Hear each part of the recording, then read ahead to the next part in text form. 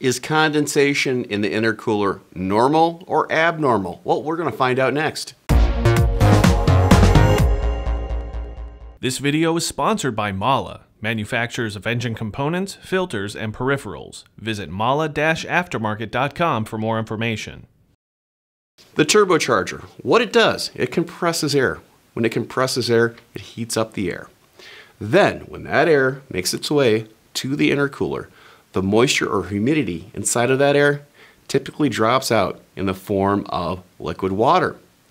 This will accumulate inside some intercoolers, but it typically evaporates as the engine and intercooler warm up over time.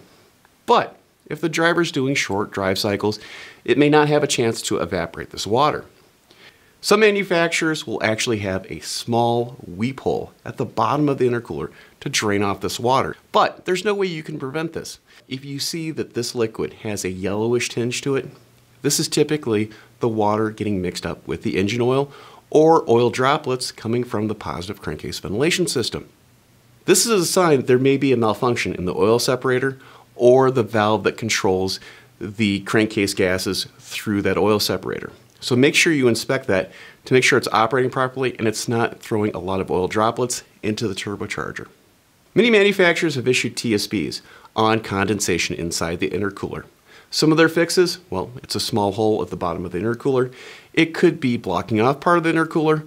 It could be rerouting some of the ducting for the intercooler. Make sure you check the TSBs if you run into a lot of liquid inside of the intercooler. I'm Andrew Markel. Thank you very much.